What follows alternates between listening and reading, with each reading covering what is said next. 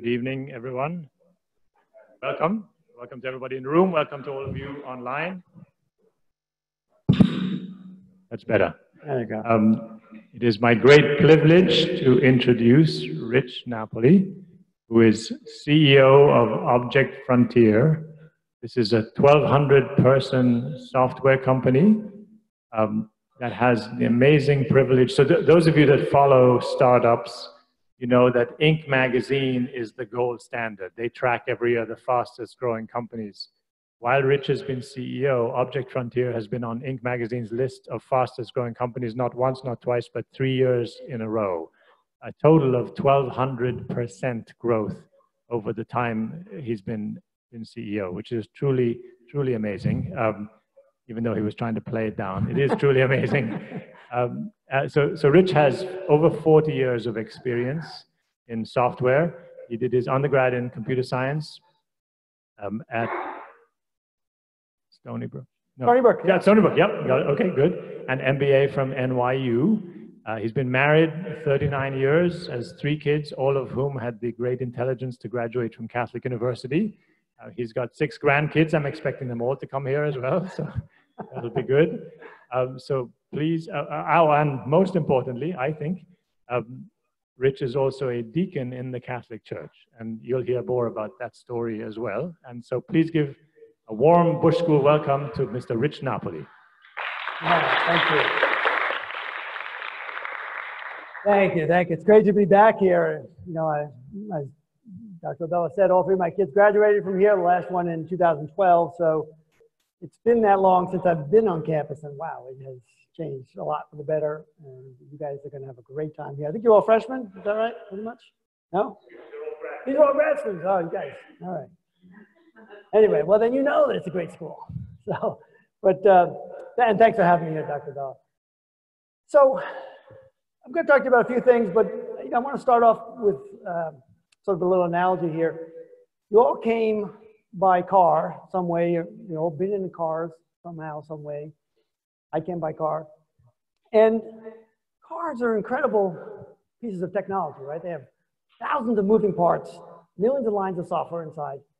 And yet we don't really care, right? We just put gas in the car, you know, turn the key, press the button, whatever it is, and off we go. And it's incredible. And it's incredible how simple it is to drive compared to the complexity that's in it. For me, it's a little different. I'm a big car guy. I uh, subscribe to five different car magazines.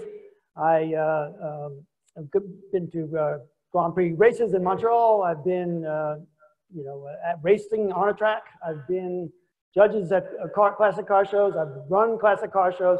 So for me, it's a little bit more. Cars are a little bit more than that. But even with that, still like I just I love driving them. I love being around them, but I don't really have to worry too much about how it works. Cars, even for me as a car enthusiast, you just kind of turn on and, and enjoy it. So, you know, the inside of a car, the engine of a car, not so interesting. Until I read about this. Anybody know what this is a model of? Well, don't worry if you don't. I didn't either. This is what's called a crankshaft. It's a, it's a part of an engine that uh, it kind of rotates like this and it makes the pistons go up and down. Who cares? you know, it's, it's, a, it's, a, it's a fundamental part of a car, but not particularly interesting. And yet, the car magazines I was reading back in 2016 were all raving about this particular kind of crankshaft, is called a flat plane crankshaft. Never heard of it. Um, and it has to do with the way these pins are all lined up in a, in a flat plane. Okay, not really particularly important. But the car magazines were going on and on and on because there was a new American car that had this. There's, prior to that, there were only kinds of cars that had flat plane crankshaft were race cars and Ferraris. So this American car was getting all kinds of attention. I'm like, all right, I guess, you know, I'm a judge at car shows. Like, I kind of got to know what I'm talking about. So let me look into what this is all about. And so I started reading about this technology and, and I started reading it more and more. And the more I read, the more excited I got about it. And, you know, without going into a lot of details, it's, it's uh, because of the design of this crankshaft, the engines can rev faster, uh, higher speed, uh, they manage exhaust gas, yada, yada, yada. It's not important. But the point is that it's the car, it's called a Shelby uh, GT350, won all kinds of awards and won Car of the Year award and won uh, uh, on the 10 best list of the award. And then it made the list of the 25 greatest cars of all time. And then because of that, it's also in my driveway. so my point is, you know, I, I mean, it's a great car. I mean, I drive it everywhere. I've driven to Canada. I drive it to Manhattan all the time. I drive it down here. It's my daily driver. I go everywhere and I love it. It's a, it's a joy to drive. It sounds fantastic. Flat plane crankshafts make a different engine sound than regular cars. Um, so, and it's actually parked outside. If any of you want to see it uh, later on, I brought it with me. So why do I tell you all this? I mean, this is not a shop class. So uh, actually, you know, I'll tell you one thing. This, they give you this when you buy the car because it's actually that significant to the car. Anyway, so why am I telling you all this? I'm telling you this because it's an example of several things in my life that I didn't think were particularly interesting. I didn't think were particularly relevant. Didn't believe in that that was important. And yet, as I learned about it, as I dove in and understood it more, I came to realize like, wow, this is really significant. And so I'm going to talk about two other examples of that. Uh, one is blockchain. Uh, and, and why blockchain? Because Dr. Abela said I had to talk about blockchain. Uh, it's a, uh, and then we'll get on to the other one. But blockchain um, has been described as one of the, the most significant uh, digital technologies since the invention of the internet. So pretty big drama there, right? Um, and he knows that I uh, am involved with blockchain with my company. I, I, I co-host a radio show on blockchain.radio. It's a 24-7 global radio station that just talks about blockchain, believe it or not. And for me, as Dr. Bell said, I've been in the software business for 40 years, over 40 years, and uh, I wrote my first software program in 1972 in high school. So I've seen generations of technology come and go. I was, this is before, you know, before mobile phones, before the internet, before PCs. I go way back. So I've seen lots of technologies come and go. You can get rid of that. Sorry. Um, I've seen lots of technologies come and go. And so when I first, I heard about blockchain back in 2013 or 14, something like that. Some speaker was talking about it. It's the technology that powers Bitcoin. So how many of you heard Bitcoin? It's, but Bitcoin is not blockchain. Bitcoin is built on blockchain. Blockchain is the underlying technology. Bitcoin is an, an application built on top of blockchain. Uh, and but I heard about it, and I'm like, same thing. I was like, well, you know, I am a I am a CEO of a software company. I kind of got to know what I'm talking about. I have to at least, at least be able to say a couple of words about what this blockchain technology is. And so I started to, to look at it. So what, what is blockchain? Um, it sounds, Jeff, it sounds incredibly boring. It sounds, you know, it's like a, like a deep in the bowels kind of technology. And it is for the most part, just like you don't really worry about how the internet works.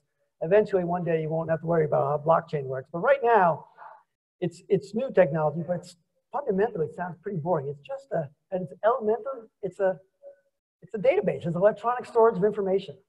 It's, your spreadsheet does the same thing. Your text messages do the same thing. It just is, at its essence, is nothing all that different. And yet, it is, has dramatic implications. So we're gonna talk a few minutes about that. Again, same kind of thing. I didn't understand it, didn't want to really understand it, but as I started to go into it, I saw that, wow, this is really significant technology. And I started to get, I became this, you know, evangelist for it as well. So let me use an analogy. I'm going to pull up here with Bill's help. Now, I'm past the, the uh, cheat show analogy. Uh, so while setting it up, you all have seen uh, a tree stump, right? Or a tree carved, you know, cut in half. And you've all seen rings like that. Um, and if you know, if you remember in your biology class, whatever, what the rings stand for, each ring represents one year of growth of the tree, right? If you notice, you can see some rings are pretty close to each other. And that typically means that it was a dry year, so the tree didn't grow that much. Some rings are quite far apart. That means it was a very wet year, lots of sunshine, so the tree grew a lot. Right? And you can also see um, maybe the one year there was a forest fire and the tree caught fire. So the bark, you know, got burned. So the point is that tree, that, that view of the tree holds a complete record of that tree's life. Not only that tree's life, but probably all the trees around it, right? So I'm going to use this as an analogy to explain introduce some principles that are in blockchain, and then we'll apply them to blockchain. So first is, it's in the blockchain world, we call it, it's immutable, meaning I can't go back and change what happened to the tree. I can't go in and carve out one of the rings and just take it out, right? It's, it's baked in there. It's, it's unalterable. It's immutable. I cannot change it. So that's one thing. Um, you know, not even Mother Nature can change it, right? It, it's locked in. Secondly, it's um, transparent, meaning that every one of us who, who walks by the tree, sort of we have privilege to see the tree, we all see the same thing. We can all see how many years it was around, what happened each year. It's visible to all of us. It's distributed. That's a little bit of a stretch in this analogy, but you know, if if this tree say was in a forest and there were several other trees around it, right around it, if you cut any of those trees down, let's let's assume they were all planted at the same time. You cut any of those trees down, they would all pretty much have the same representation. They would all have the same lean years, they'd all have the same thick years, they'd all have the same fire. So the so the record of that fire, or the record of that forest, I'm sorry, is distributed amongst all the trees. All the trees have a copy of, of what that record represents, right? It's secure. That's another thing to talk about in blockchain. It's secure meaning only Mother Nature is authorized to write to this, right? Only Mother Nature can add to it. She can add another ring around it. No one else has the authority. No one else is authorized to update that that uh, that, uh, that database, if you will, database of you know what happened in the forest. And finally, it's, it's what I, we would say is it's a ledger. Now, you guys are all grad students. You've all been through your accounting classes. You remember your ledger days. You know, debits and credits and writing. Well, you probably don't even do that anymore, but writing them down. I hated the accounting class. Uh, you write them down, uh, and you know every deposit, every withdrawal, and so on, movement from one account to the other, and uh, and you just kept adding to the bottom of it. And if you made a mistake, you didn't go back and change the record up here, the entry up here, because then you would have had to change all the ones below it just make a correcting entry at the bottom. Same kind of thing here is even Mother Nature can only write at the end. She can't change anything inside. She can add another ring at the end, but she can't change what's in there. So it's a notion of a ledger, just added to at the end. Okay, so now let's apply those to blockchain. We can keep this up there for a minute. Um, so for blockchain, I'm going to give you sort of the definition, at least my definition, and then we'll try to unpack that statement.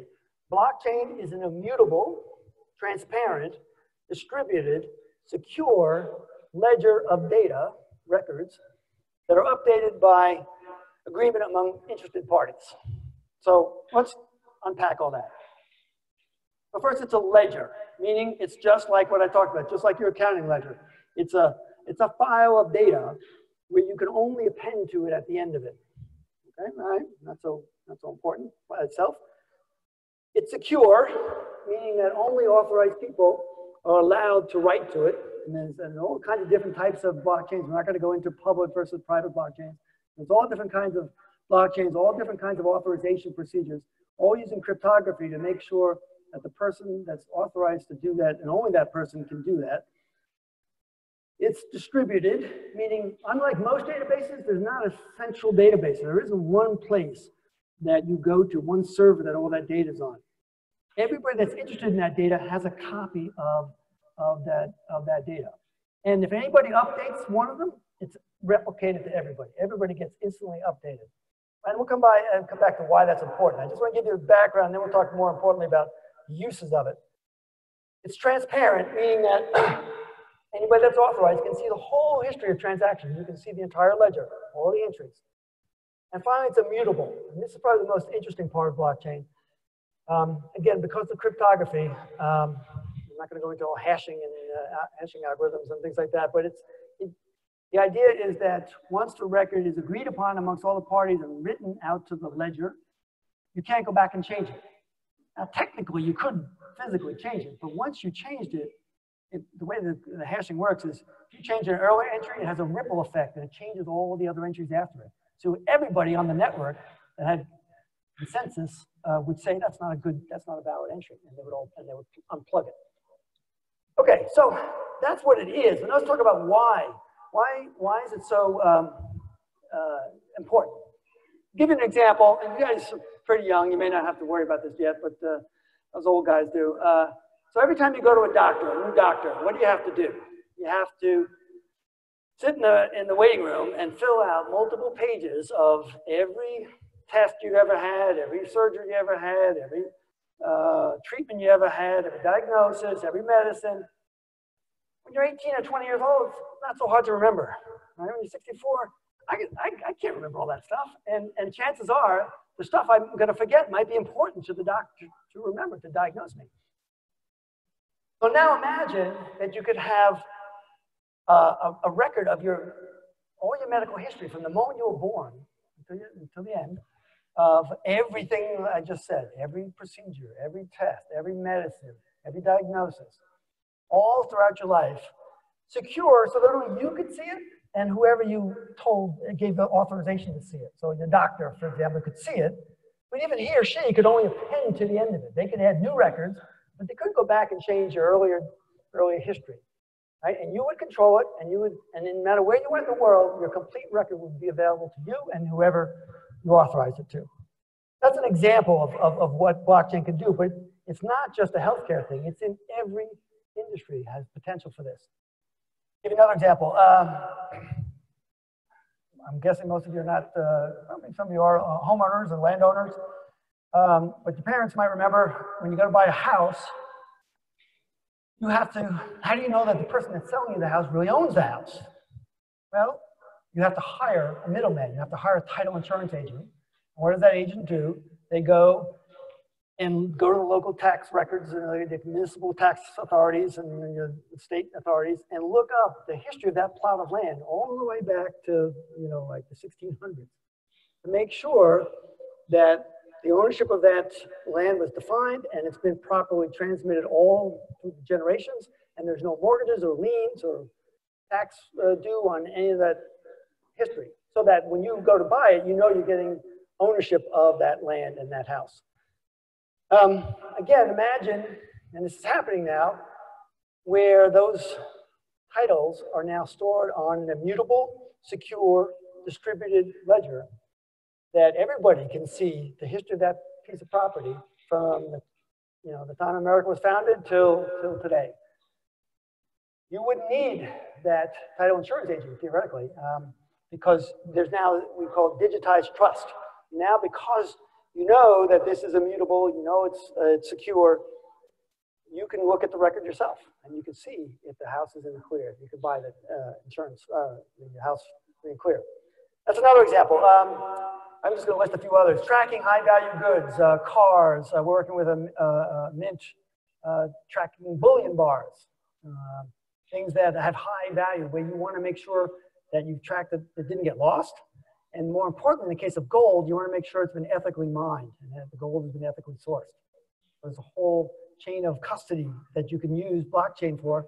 Lots of different parties, each one recording. A better example perhaps is in food, food management.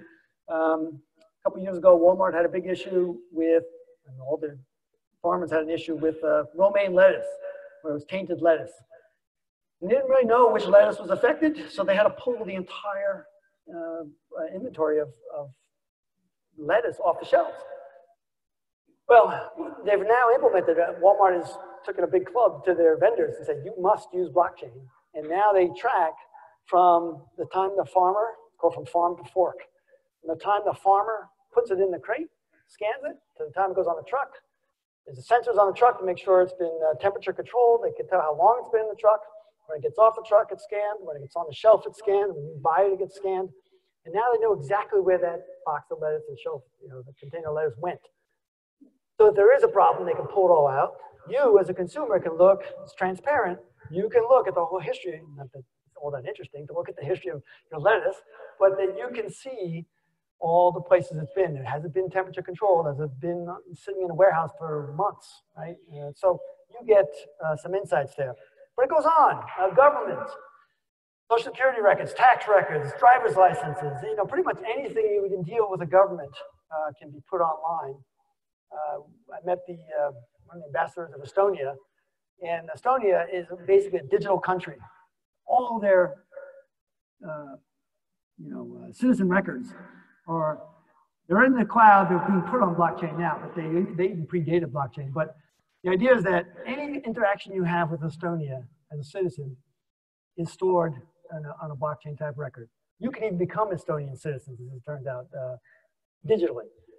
So uh, government, banking, finance, cryptocurrencies, we talked about, Bitcoin, of course, uh, but you can track loan payments, mortgage payments, music, uh, digital rights management for songs. When you create your song, you want to make sure that you own it. And, you know, so it's recorded on the blockchain that you created the song. You actually put the song in the blockchain itself, and then you can assign it out to people and control the rights and even collect money. There's another piece of blockchain is this notion of uh, smart contracts. You can actually digitize the contract that we might agree on so that when I receive goods, you get my money automatically. Anyway, it's a huge concept. Um, it's, it's a huge concept of digitizing trust that has applicability in every industry. Um, Ginni Rometty, the former CEO of IBM, said that blockchain will do for transactions what the internet did for information. It's a huge, huge concept. As I said, you know, you go to blockchain radio. In fact, if you have an Alexa device, you can say, play blockchain radio. And a lot of it's boring, I'll tell you that, but it is 24 hours, uh, seven days a week, because lots of people in 100 countries around the world, lots of people want to hear about it. Okay, so I guess that's, you know, a second example of something that I first thought was pretty boring, and in some ways it is still boring, it's still technology, but um, it's far more fascinating than I ever thought it would be, because I've seen so much technology. It's hard to get excited about technology after 40 years, and yet this is so significant. I used, so now I have two examples of things that I didn't really care about. Didn't, I thought they were irrelevant. You know, uh, crankshafts and blockchain. They were irrelevant, not part of my life, not important, didn't really believe in them. And I want to talk, as, as Dr. Bell said, I am a deacon, so you're not going to get out of here without some faith talk, right? Uh, I want to talk about the other thing I didn't think was very important in my life that I didn't particularly believe in, and that was God, right? it's, I'm going to try to condense my story because obviously I could talk forever about that, but it's, a, it's been a heck of a journey. God's got a sense of humor, taking me from, I was an atheist for most of my life uh, until 2002. So, quick recap of how that came about.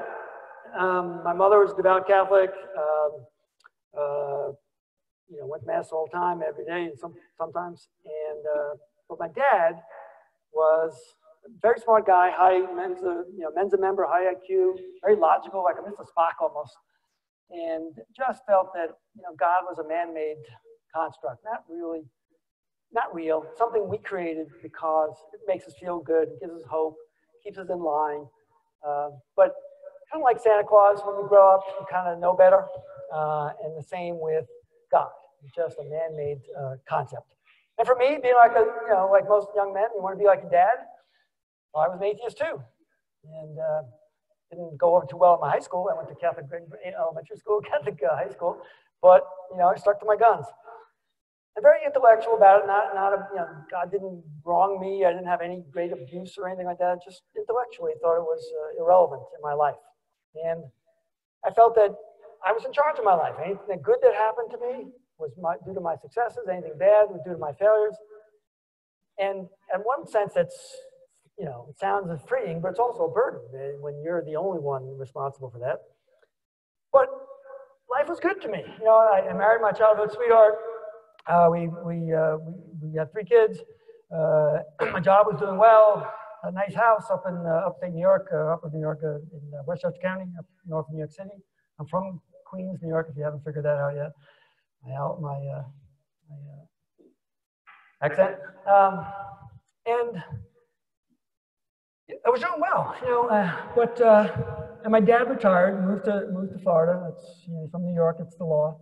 If you, uh, you uh, retire, you have to go, you have to move to Florida.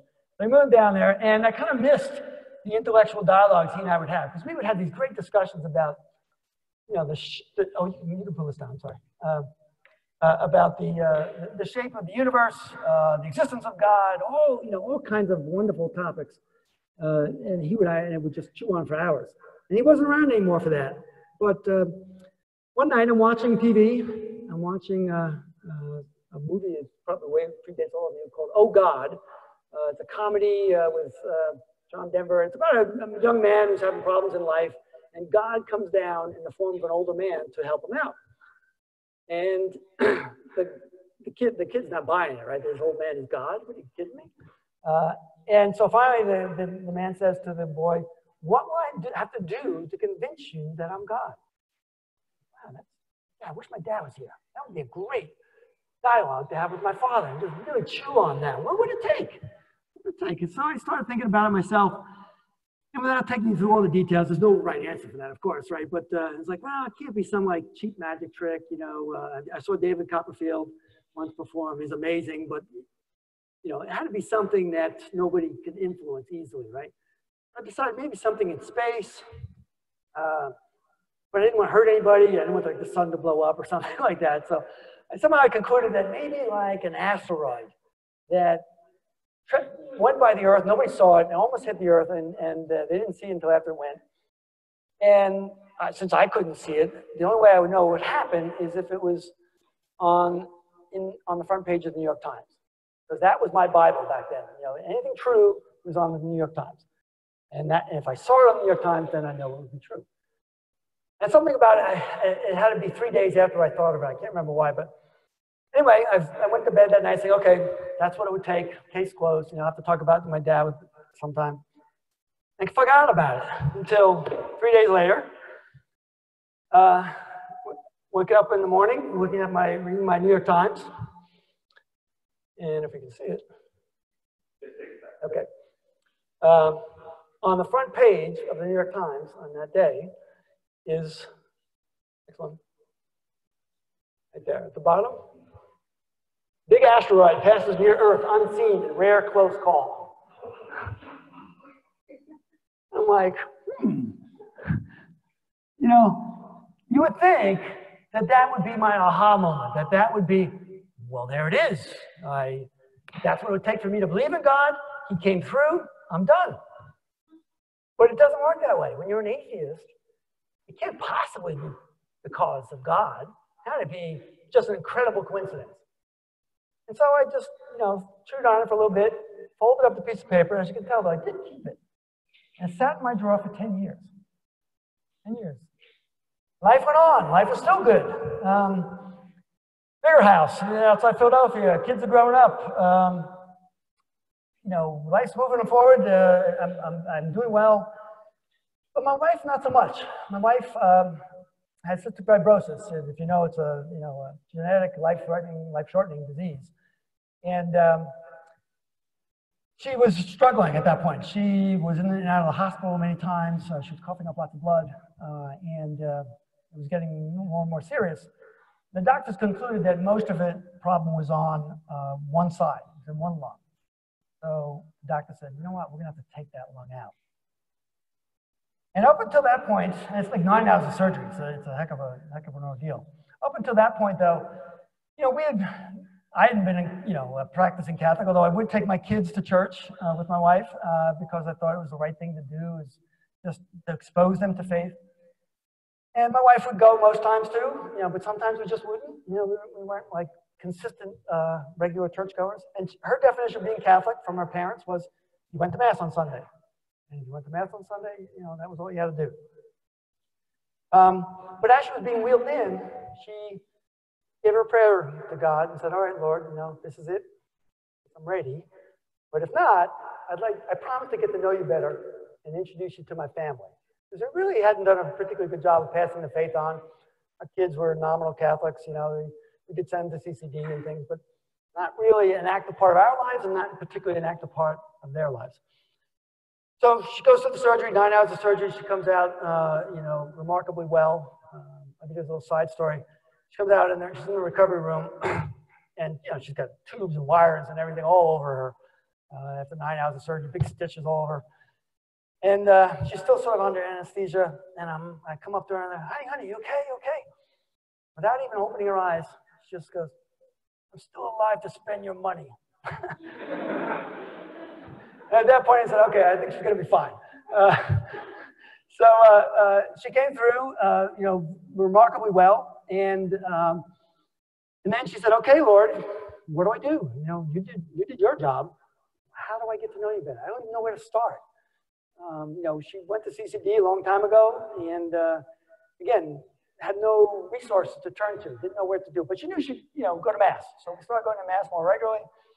And one of the priests there uh, one day mentioned um, uh, that there was a new radio station in Philadelphia, a new Catholic radio station called Holy Spirit Radio, and that maybe she should turn it on and listen.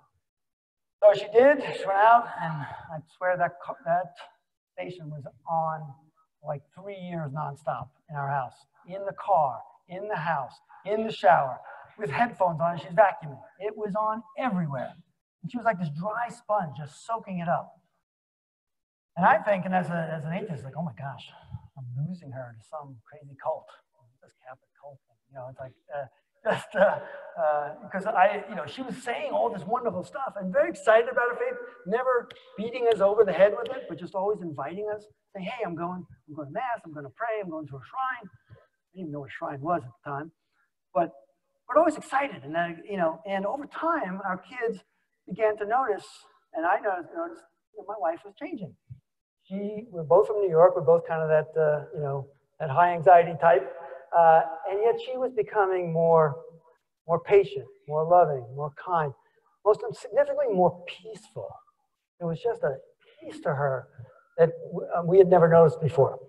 So it got me curious, and, and then she invited me to a fundraiser for the radio station to come and, um, you know, to, to, to, raise some money. And I said, yeah, I, I think I'll go. Uh, I'd like to thank them. They did a good job on you. and, and uh, so I went, and I'm working. It's about 300 people there, and I'm working the room like I would a conference, right? I'm shaking hands and chatting people up. Uh, and as I'm talking to people, I realize they're all like her. They're all peaceful, loving, patient, kind people. I'd never been around faith-filled people before until that, that night. Wow, this is this is like on viral. This is really infectious. Everybody's like this.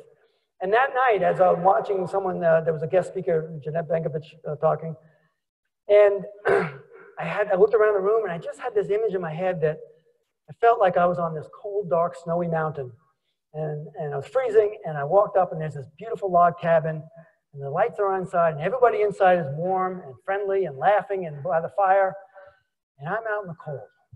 And I just, the first time, really uh, a real prayer, I looked at the Lord and was like, all right, if you're up there tired of being on the outside. I want to come in. Wow. I didn't know at the time, but within minutes after that, my life started to change. And two more times that week, I'm not going to take you through that, but two more times that week, I asked for things on the front page of the New York Times. Two more times, I got them. we met the owners of the radio station. My wife wound up uh, having a show on the radio station. Uh, and they told me about this organization called Legatus, uh, which I'll come back to. And I got curious and I was like, wow, maybe he is up there, you know? And so I just started diving in. I had a million questions as an atheist. Why? Not just what we believe. I sort of knew my Catholic faith, I guess. But why? Why? You know, why Jesus? Uh, why the robes? Why Mass? Why? What's with all the rules? You know, I just had all the questions that you would have. And what I found as I looked into it is our faith, and really it's all, all Christian faiths, uh, there's, a, there's an incredible uh, beauty to it and logic to it. It's not an irrational thing. It's very well, I don't say thought out, but it's very, it's very complete. There's no loose ends. If you want to dig in, if you want to study it, like I had learned how to study crankshafts and, and blockchain, if you spend the time, it's a beautiful theology, a beautiful, rich fabric of theology. And it's, um, you know, it's, it's come on, uh, obviously, to change my life. And I'm not going to take you through my whole deacon journey, but uh, two years after that night, I was applying for uh, entry into the seminary to become a deacon. Now, if you're not familiar with permanent deacons, it's, um, uh, it's, it's a, you know, I'm ordained clergy, I wear a collar. Um, it's six years in the seminary, nights and weekends, test homework papers, just like, like you all. And uh, we can, um, you know, baptize, uh, marry, and bury. So we call it hatch, match, and dispatch. Uh, we, can, uh, we can assist the priest at Mass. We can uh, help them. Uh, we can't consecrate, uh, but we can assist. And we can preach. So I preach two weeks a month. And it's been a beautiful, beautiful ministry for me. it has some great side benefits. I've baptized all six of my grandchildren. I married my son to his wife. And so it's a lot, those are the perks of the job because the pay isn't so good, zero. but it's, it's been a beautiful journey for me. And of course, the deacons uh, aren't like a priest. I mean, we were married. We have, you know, uh, wives and kids and mortgages and Shelby GT350s. Uh, but I don't want so much, you know, so why, is, why am I telling you all that? Because I wanted to give you some sense of, you know, that you can find out more by exploring things you didn't, uh, didn't think were important. So I want to talk about, you know, the value of faith in your life and the value of the faith of your faith in the business world, because they're they're both interesting, and uh, you know, then we'll, we'll, wrap that up with that. But um, I'd say from the from a personal standpoint, I'd ask you to, you know, consider um, the possibility of God. And maybe you already are very active in your faith, um, and that's wonderful. But I'm guessing a lot of you are yeah, yeah, maybe he's up there. He's, he's, you know, I see him once in a while. I can feel him once in a while, but not really important to my life. I'm too busy right now. It doesn't matter what faith denomination you are. I have people listening today. I have Hindus, Hindus, Muslims, uh, Jews, Christians, atheists, all listening in here. It doesn't matter. God is God. God is not one religion. God is God. But I would ask you, you know, to consider the possibility of God, because when you consider the possibility of God, the reality of God kind of rushes in and fulfills and fills you up. It's not just something, uh, you know, theoretical. It's something so fundamental to our lives, but we just don't take the time to, to research it and to think about it. Just like cars, we don't really think about how significant all that technology is, and yet it's so important to get from A to B. Well, same with God. It's so significant to your life, and yet we, we can't take it for granted. But God created us out of love. He loves each of us each one of us, not in a generic sense. Yeah, God loves us. Okay. No, He loves you and you and you and you, and all of us individually. He knows the number of hairs on your head. That was the one my daughter got, got to her when she really um, pondered the fact that God knows me that well. Right? And He loves you. He wants you with Him in heaven someday. I remember the first time I felt His love. We don't have time for that, but I, you know, I, I, the first time that I felt His love, it, it was overwhelming. I was like, wow, I had no idea. You have time for me, Lord? Don't you have better things to worry about than me? And yet I could feel his, his presence his, in, my, in, my, in my heart. Um, and my life was never, you know, never the same. I invite you on a personal level, explore him, seek him out, feel his love, understand what that love means for you uh, and how it, to live your life. And it will change the way you live your life. It will change the way you interact with everyone, it'll change your family. And my fortunate, you know, my I have a beautiful family uh, of, of, children and grandchildren that are all filled with faith. All go to mass regularly. All get their sacraments and so on. Um, so it has a ripple effect uh, on your faith and your faith experience. But because this is a business class, so let's talk about why is faith important in your business life? Because I used to think, my dad being the atheist, you know, um, that faith is over here, business is over here. You know, that, that all right, yeah, you can go to church, whatever you want to do on Sundays. But come Monday morning, man, you suit up. You suit up, you put your armor on, and you go and you fight. You go fight for your for your family, for your job, for your career, um, and you know all kinds of bare knuckle politics in the office just to get ahead and things like that. And so I, I, couldn't wrap my head around that. And, and as I mentioned before, the radio station folks introduced me to an organization called Legatus, which is an organization of Catholic CEOs. And as soon as I heard that, I was like, I got to join that group because I have no idea how to be Catholic in the workplace. And this is after I came into my faith. How do I, I don't know the rules. How can you do that? How can you be, you know, um, caring and, and compassionate and treating everybody with dignity and respect in the image and likeness of God and uh, do it with honesty and integrity? Well, it turns out that's actually good business. you know, it's not just a, an ethos of personal responsibility. It's good business. Now, Dr. Abela talked about, you know, our growth, growing 1,300%. Not because I'm a good businessman, it's, because customers appreciate, they like to be treated with dignity and respect. They like to be told the truth. They like to know that they're going to get a fair deal.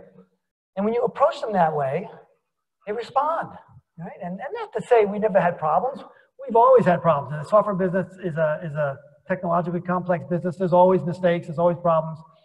We own up to them. And if we make a mistake, we make it good. And we are 100% referenceable, meaning every customer we've ever had in our 23 year history would be a reference for us.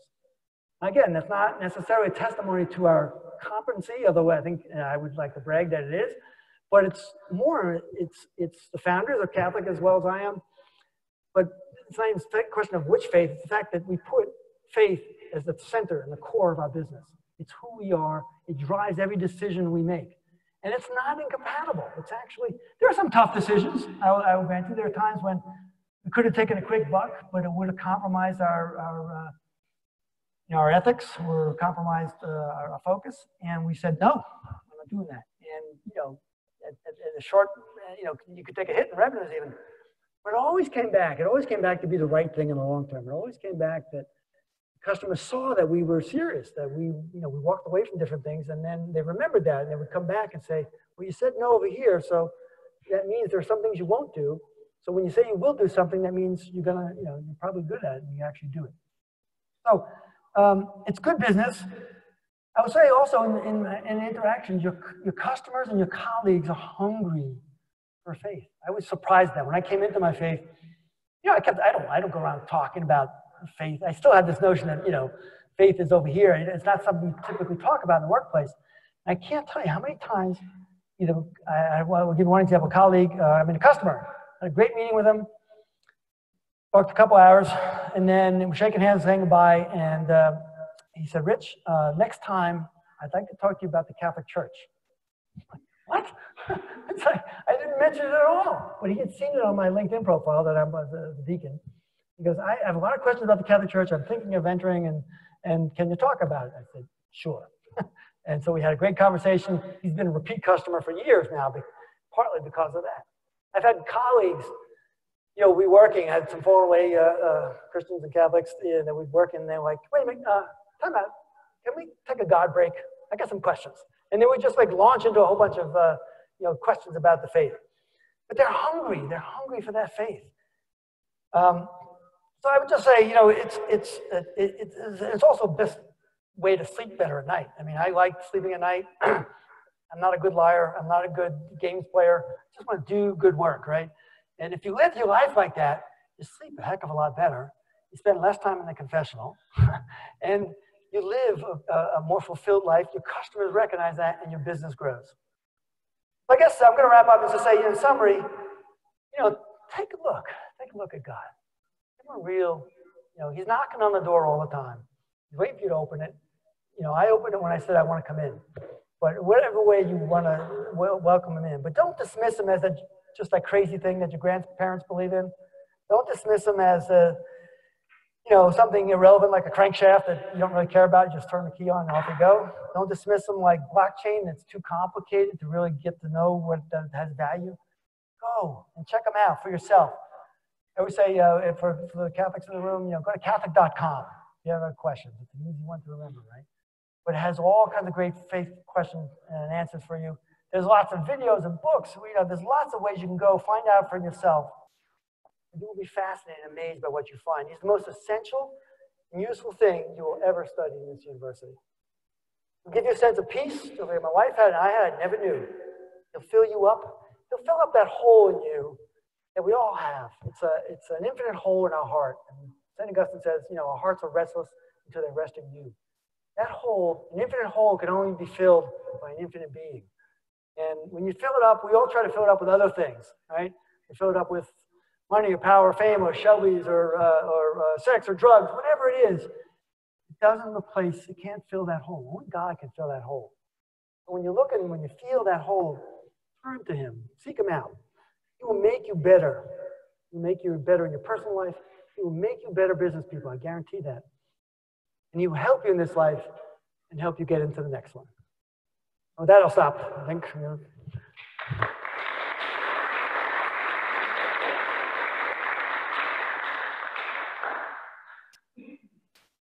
So, question I think is next, right? Yes. I think uh, you want to come down. Is that, does he need to come down here? Yeah if you'll come down, um, Just so we can get it on the air with everybody. Sir, uh, Matthew McFarlane. Um, how do you see uh, institutions that currently um, how do you see institutions developing along with, um, with, uh, you know, you know, trustless systems and, uh, you know, Like in the blockchain Right. scenario? Yeah, yeah. how do you see institutions that currently uh, facilitate these transactions adapting to these uh, applications built upon the blockchain? Like, you know, like a bank, Yeah. how does a bank transform when you don't, when you have an application for a bank? Where does the profit go? Yeah, it's a great question. I mean, it, it is, it's early days. I didn't mention that before, is that, you know, like the internet, you know, from like the 90s, early 90s, it took a while for it to develop. Everybody could see the potential of it, but it took a while for people to actually change their business model. It's even still happening today, right? The internet really took off, you know, 93, 94. We're still living through the ripple effects of that now to go to this digital transformation. So it's taken that long but there have been some fundamental, you know, transitions, right? You know, the music industry, you'll remember Napster and all this kind of stuff and the, the peer-to-peer sharing. It destroyed the old model for music. The music industry is about a fifth the size of what it used to be uh, because technology just gutted it, right? Um, that could happen and probably will happen to some industries with blockchain. Blockchain is in its early days, just like the internet. It will take many years for it to have its full ripple effects but it has the potential to do away with many of those industries. Uh, uh, you know, like title insurance, like uh, banks offering letters of credit between different uh, countries. You know, you don't know the other party, and you, you both agree on a middle party, and he collects money and transfers it back and forth. That could potentially go away. At the same time, though, banks are not stupid, and everyone is. You know, the banks are the first ones recognizing some of this technology. They see it in some instances in the capital markets as a way to substantially reduce their cost. So you know, when you, a quick point, like if you buy, if I wanted to sell you 100 shares of IBM stock, there are like eight counterparties behind the scenes. I can't just give you the shares. Your brokers have to talk to your custodians, have to talk to your clearing agents and, and settlement agents. There's all these counterparts that all have to agree that I sold you 100 shares of IBM for this price on this date. And if there's any errors along the way, it all has to be reconciled and, and, and fixed. Well, blockchain theoretically could take all that away because it'd only be one record of the truth and you wouldn't need all that reconciliation. So in some ways, industries will be served, and other ways, industries will be will be disrupted, and that remains to be seen. So you're right; there will be some changes. Thank you, sir. Yeah. What else?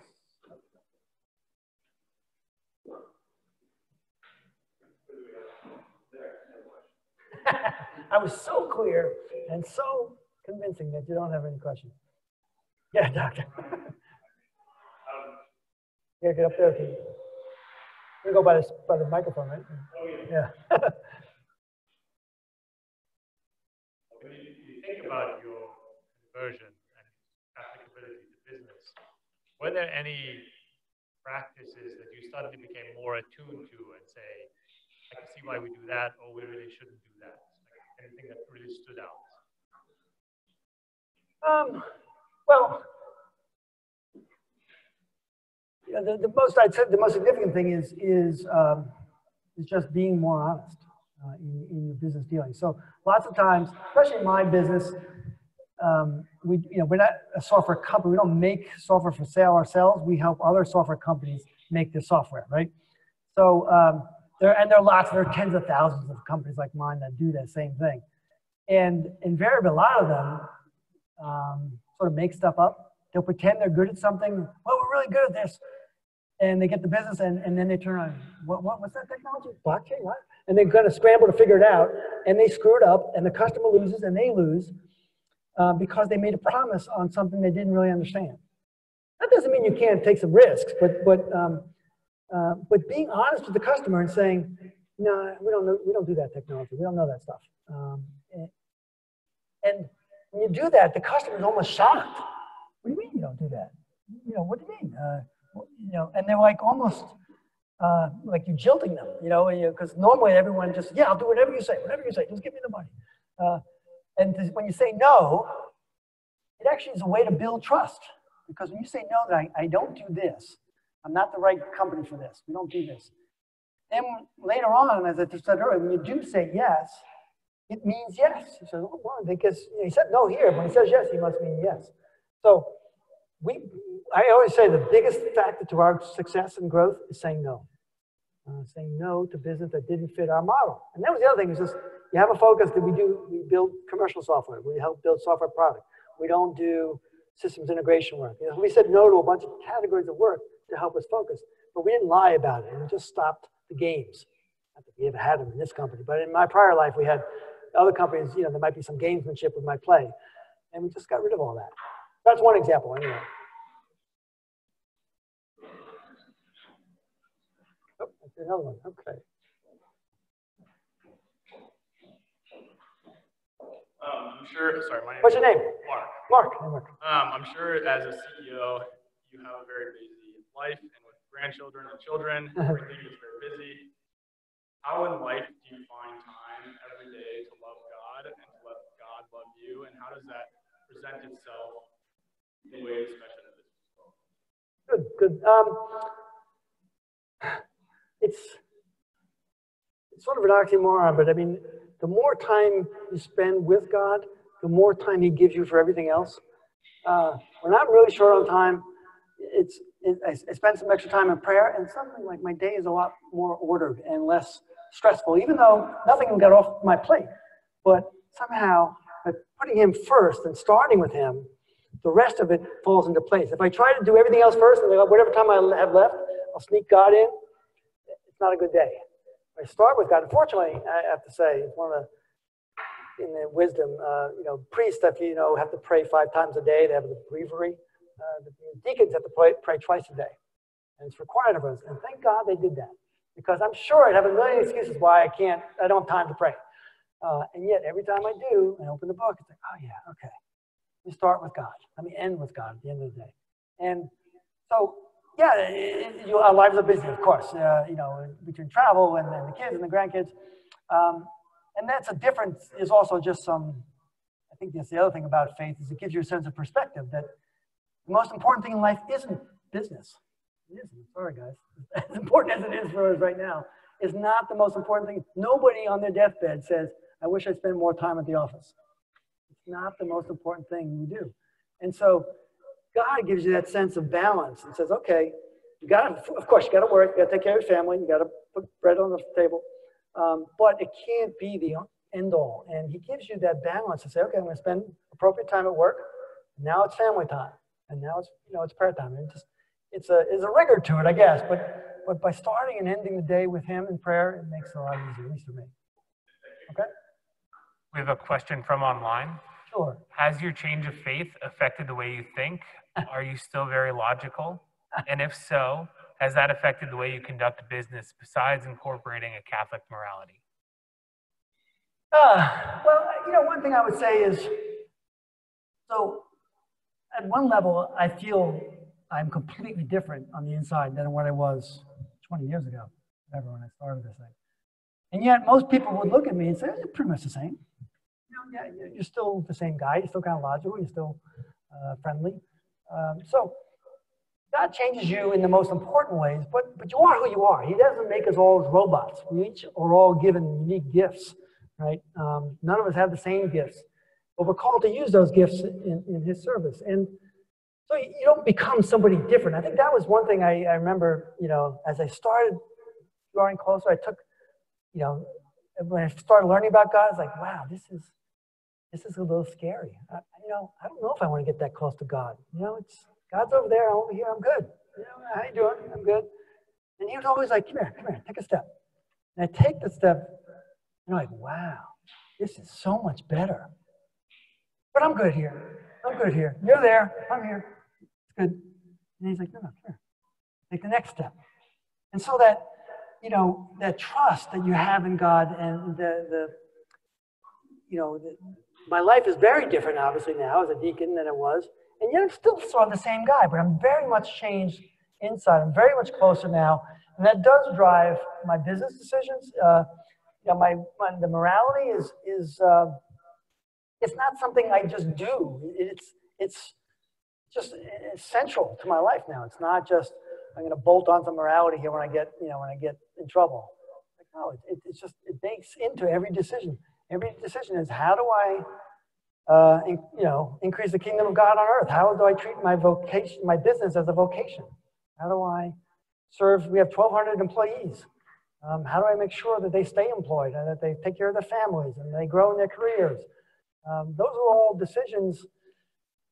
They're not so much, you know, uh, moral decisions, but but they're they're driven by the morality that takes sort of central central place because morality is not like something you wear; it's just something God called you to. Right? God God says, "I love you," and then when you really understand what that love means, then you want to love Him back. How do you love Him back? We love Him back by trying to be what He modeled for us, right? And for, for the Christians in the group, is but for modeling what the way Jesus lived His life. And he's calling us to model him more perfectly. And we never do. We, we always fail. We're all sinners. Um, but he's calling us towards that, that, uh, that morality. And, and anyway, uh, long with the answer to your question there. The others? One more? There's one more. Oh. Your name? Nicole. Nicole. So, um, what would you say was the biggest challenge incorporating um, faith into business? The biggest challenge. Uh, well, I guess, you know, coming to grips with the, the notion that, that it was not incompatible to be a person of faith and to be a business leader. Because I always thought they were incompatible. And it took me a while, it took me several years that, because I didn't, my dad obviously was not a role model for me uh, as, a, as, a, as an atheist. I mean, he was a good man, but not, uh, you know, didn't have a faith drive him. So I didn't see what faith looked like in the business world with him. Well, I had to see it for myself. So I had to, by joining this group Legatus for Catholic CEOs, I got to meet men and women that, that had that and ask them lots of questions. That was probably the hardest for me to see that really I can, I can actually, you know, it actually is good business to be faithful and moral in, in how you do business. I, I, that one took me a while to digest. An answer? Yeah. Okay. Yeah, there was another one there or that? Okay. Oh, thank you. Okay. All right. Well, like I said, I, am hoping you back from dinner. Hopefully, uh, you, uh, you, get a chance to eat. I know you've been here all day. I can't believe you've been in the same room all day. That's that's that's real endurance. That's a good testimony to your future potential as business leaders. That you, endurance is definitely part of the game. So uh, I hope you all uh, have a good evening, and thank you again for coming.